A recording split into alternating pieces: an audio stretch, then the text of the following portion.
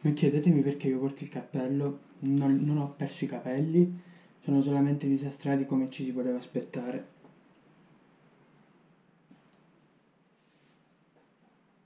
Sigla. Here we go.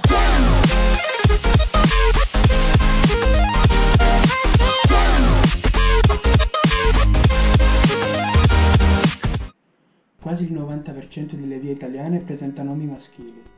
Il tracciato originario della strada statale 106 Ionica iniziava nel centro di Reggio Calabria. L'autostrada 27 è la prima autostrada italiana a tre corsie per senso di marcia fin dalla sua prima apertura. Il grande raccordo anulare di Roma è stato citato da Max Pezzali nella sua canzone Chiuso in una scatola. Nonostante il grande raccordo anulare sia stato classificato come A90, quest'ultima denominazione non è mai stata usata nella segnaletica stradale. La tangenziale di Napoli è l'unica tangenziale italiana con pedaggio ad ogni svincolo. In origine la diramazione A4-A5 si chiamava A18, numerazione poi assegnata all'autostrada Messina-Catania. L'autostrada 6 è l'unica autostrada italiana a presentare un tracciato elicoidale. Sull'autostrada 30 il viadotto Sarno è stato inizialmente aperto a carreggiata unica. Tra Caserta e Nola è prevista la costruzione del nuovo svincolo di Maddaloni. Fino al 2017 il tratto di A14 tra Foggia e Cerignola Est lungo 35 km, era il più lungo tratto autostradale italiano privo di svincoli. In origine l'autostrada 16 era numerata come A17, numerazione poi rimossa per motivi scaramantici.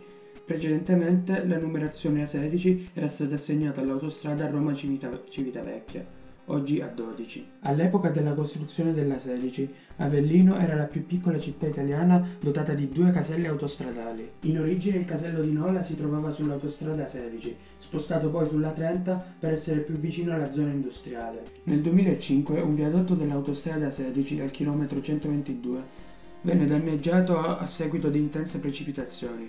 A causa delle difficoltà di ripristino, oggi si circola su una variante in doppia curva.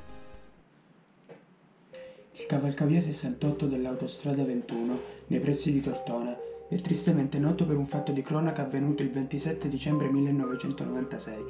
I fratelli Paolo, Sandro, Franco e Gabriele Furlan, il cugino Paolo Bertocco con la fidanzata Loredana Vezzaro e Roberto Siringo si divertivano a lanciare sassi sui veicoli in transito nella carreggiata sottostante. Uno di questi sassi colpì mortalmente Maria Letizia Berdini, una donna di 31 anni diretta a Parigi col marito in viaggio di nozze. In seguito a questo tragico evento vennero numerati tutti i cavalcavia presenti sulle strade e autostrade italiane. Inizialmente tre dei fratelli Furlan ed il cugino Bertocco furono condannati a 27 anni e 6 mesi di reclusione per omicidio volontario. Successivamente all'inchiesta si aggiunsero anche il quarto fratello, Gabriele Furlan, la Vezzaro e Roberto Siringo, che furono tutti e tre assolti. I tre fratelli Furlan e il cugino Bertocco scontarono gli arresti domiciliari fino a luglio 2009, quando vennero definitivamente liberati.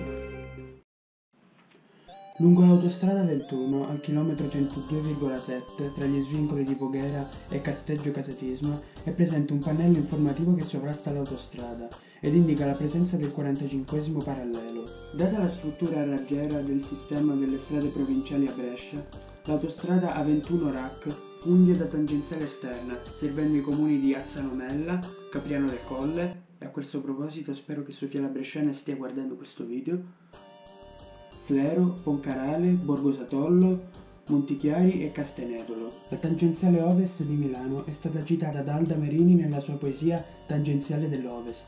Fino a qualche anno fa, il tratto abruzzese dell'autostrada 14 presentava i guardrail laterali in legno lungo le tratte non in viadotto. Nei pressi di Mammola, la strada statale 682 Ionio-Tirreno è invariante rispetto al percorso originario a causa del ritrovamento di reperti archeologici durante gli scavi. Lungo la strada statale 318 Val di Valfabbrica, tra le gallerie Picchiarella e Casa Castalda, è in costruzione un nuovo svincolo, la cui rampa di uscita nella direzione di Ancona risulta essere già parzialmente costruita. Con i suoi 250 km, la strada statale 3 bis Tiberina è la superstrada più lunga d'Italia. Il primato le verrà strappato dalla strada statale 106 Ionica al completamento dei lavori di raddoppio. L'autostrada 14 è stata citata da Ligabue nella sua canzone Urlando contro il cielo. Sull'autostrada 6 venne aperto nel 1972 un tratto di carreggiata sud tra Carmagnola e l'area servizio Rio Colorea Ovest, utilizzato come pista di prova dalla Fiat. L'autostrada A32 è l'unica autostrada italiana a carattere extraurbano ad avere le uscite numerate. Nonostante la segnaletica della progressiva chilometrica non presenti alcuna differenza, la carreggiata sud dell'autostrada A7 risulta essere lunga 5 km in più rispetto alla nord. Sul viadotto del passo dell'autostrada 10 in direzione Genova viene erroneamente segnalato il confine tra Francia e Italia, quando questo invece si trova a 250 metri prima all'interno della galleria Cimagirata. Il casello di Feglino sull'autostrada 10 è il più piccolo casello italiano, con una sola pista in entrata ed una sola pista in, us- in uscita. Inoltre è l'unico svincolo parziale dell'autostrada, avendo l'uscita solo in direzione Ventimiglia e l'entrata solo in direzione Genova. I primi due chilometri dell'autostrada 7 che collegano il chilometro zero con Piazza Maggi non sono identificati tramite numeri ma con le lettere A e B. La strada statale 19 delle Calabrie prende il nome dall'antica divisione della regione, in Calabria Citeriore e Calabria Ulteriore. L'autostrada 35 ha delle caratteristiche costruttive di incidentalità che permetterebbero di viaggiare anche a 140 km/h. La galleria Nazzano dell'autostrada 1 è stata allargata con un metodo che ha consentito il mantenimento delle due corsie. Il tratto appenninico dell'autostrada 1, aperto il 3 dicembre 1960, è stata la prima autostrada a doppia carreggiata realizzata in montagna. Tutte le rampe di accesso alla vecchia autostrada 3, Napoli-Salerno, presentano il segnale di stop. Fino a marzo 2008 lo svincolo per Linate Viale Forlanini della tangenziale di Milano, che tra l'altro ho fatto vedere nello scorso video, presentava delle rampe di uscita sulla sinistra, che poi vennero smantellate e sostituite con delle comunissime rampe di uscita a destra. In origine era previsto un prolungamento della 14 fino a Sibari.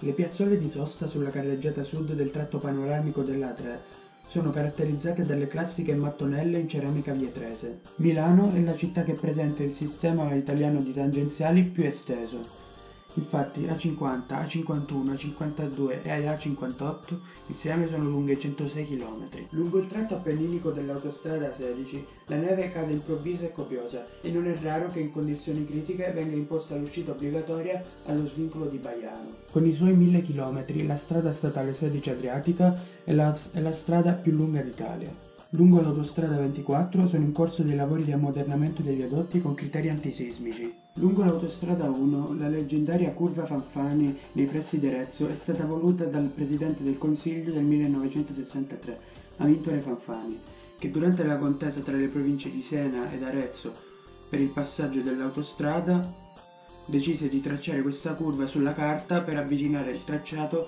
della sua patria, la città di Arezzo. Negli anni 50 e 60 era d'uso comune costruire le strade a tre corsie ad unica carreggiata, di cui la corsia centrale è utilizzata promiscuamente per i sorpassi. Tra queste strade vi figurano anche le autostrade A6 e A10 ed alcune varianti alle strade statali.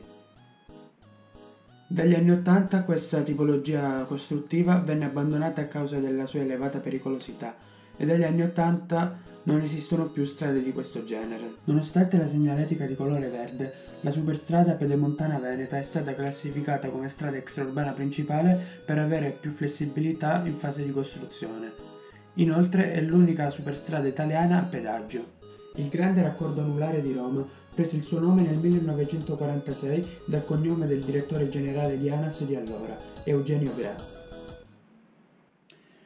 I lavori per la costruzione dell'autostrada 31 sono stati rallentati a causa delle indagini della Direzione Distrettuale Antimafia di Venezia in merito all'abbandono degli scarti di lavorazione all'interno delle coltivazioni vicine all'autostrada, inquinando così i canali di irrigazione tramite sversamento di cromo. I sospetti sono partiti dopo la morte di un cane di due anni di età che aveva bevuto dell'acqua in un fosso nelle vicinanze dell'autostrada. Alcune foto scattate nel 2010 mostrano dei possibili scarti di fonderia.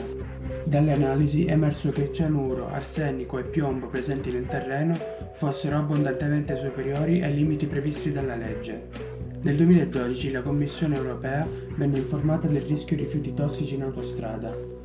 Infatti nel tratto tra Vicenza e Rovigo vi sono dei rifiuti tossici sotto il manto stradale che metterebbero a rischio la salute pubblica.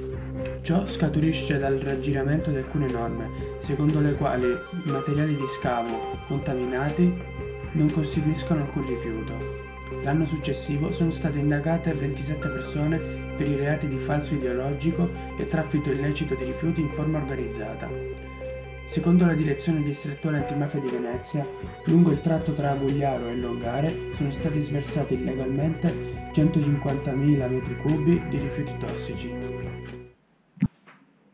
L'autostrada 22 è la prima autostrada italiana dotata di aree di servizio con pompe di rifornimento ad idrogeno. Solo dal 2001, con il completamento della 6, tutte le autostrade italiane sono a doppia carreggiata. Ragazzi il video finisce qui, spero che vi sia piaciuto, se sì lasciate un mi piace per sostenere il canale e ci vediamo venerdì prossimo con un nuovo video. Bella!